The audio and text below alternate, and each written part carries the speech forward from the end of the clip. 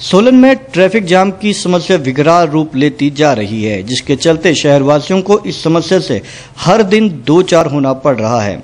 वहीं जिला police traffic jam की समस्या पर पूर्ण रूप से नियंत्रण नहीं कर पा रही है। अब जिला पुलिस इस समस्या को जड़ से हल करने के लिए एक विशेष योजना लेकर आई है, ताकि लोगों को ट्रैफ़िक जाम से निजात मिल सके। ट्रैफ़िक जाम से निपटने के लिए स्थानीय लोगों से भी सुझाव लिए गए और उन्हें अवश्य दिशा निर्देश भी दिए गए ताकि सभी के सहयोग से शहर की सबसे बड़ी ट्रैफ़िक जाम की समस्या से निजात मिल सके।